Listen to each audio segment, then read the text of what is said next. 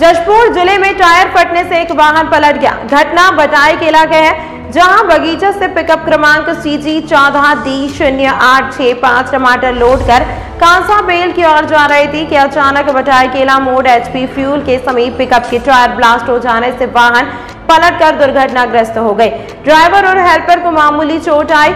Chhattisgarh driver महासंघ जिला जशपुर के दुबराज यादव, सदस्य गुड्डू यादव और श्याम यादव द्वारा मौके पर पहुंचकर मदद किया। दुबराज यादव हमेशा से ड्राइवर की एकता को प्रदर्शित करने का सहयोग करते हैं। झंडा घाट ट्रेलर ड्राइवर मर्डर कांड के सड़ी गली लाश को उनके निवास उत्तर प्रदेश तक पहुँचाया भी था। इनकी सहयोग से एंबुलेंस के माध्यम से ड्राइवर व हेल्पर को अस्पताल भिजवाया गया। इस दुर्घटना से वाहन में भारी टमाटर पूरी तरह से बर्बाद हो गया।